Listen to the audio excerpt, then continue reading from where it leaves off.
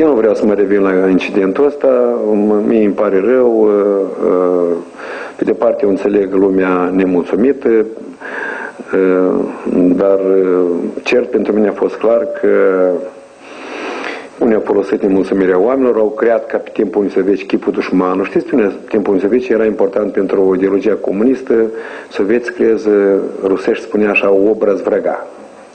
Iată, au reușit, prin intermediul unei televiziuni, la miti, microfoane. Uh, legea își va spune cuvântul. N-am dat eu, pentru asta este, sunt organe de drept care sunt obligate să ancheteze situația care s-a întâmplat. Plângeri nu se depune, s-au autosesizat și eu am dat uh, uh, mărturii cum a fost, ce s-a întâmplat și cum.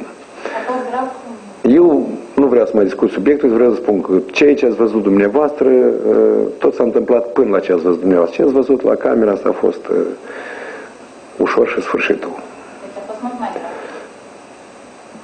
Mi îmi pare rău că